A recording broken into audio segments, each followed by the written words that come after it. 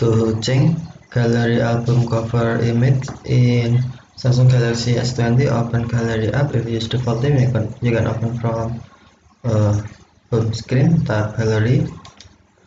Or if you cannot find gallery in the home screen open from app screen swipe up or down home screen to access the app screen. And then select gallery. Tap albums. And then tap album you want to change cover image for example this album. It and then tap more icon or three dot icon.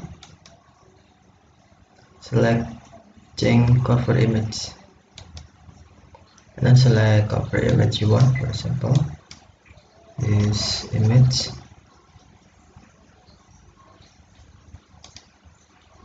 You can adjust the uh, position our size of cover image you want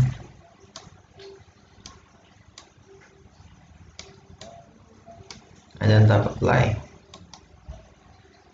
Now cover image was changed. Okay thank you for watching. Have a nice day